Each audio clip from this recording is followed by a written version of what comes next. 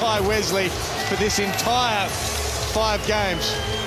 Nathan Sobey into Goulding, but there was a swat from above.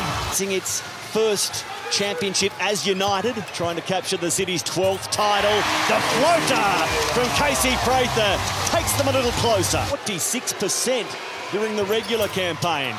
That's a bit of the traditional form at the line, but the putback from Casey Prather, who's up and about early. 50 game in their eyes. Now Boone. The stats say that since 09, 90% of grand final games go to the home side. Well, Adelaide is here to prove that wrong.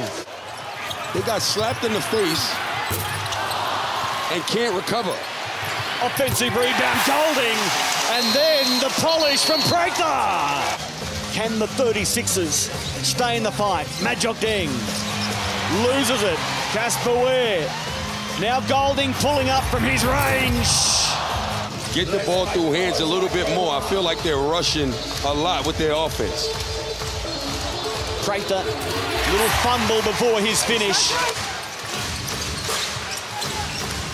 Really solid again, as has been this man, Casey Prather. And he makes it a 10-point deficit. Daniel Johnson hard into Goulding, but he left the pill behind. Now Prather. Creek with a rebound and quickly shorter. Spots Deng, goes it alone and turns it over.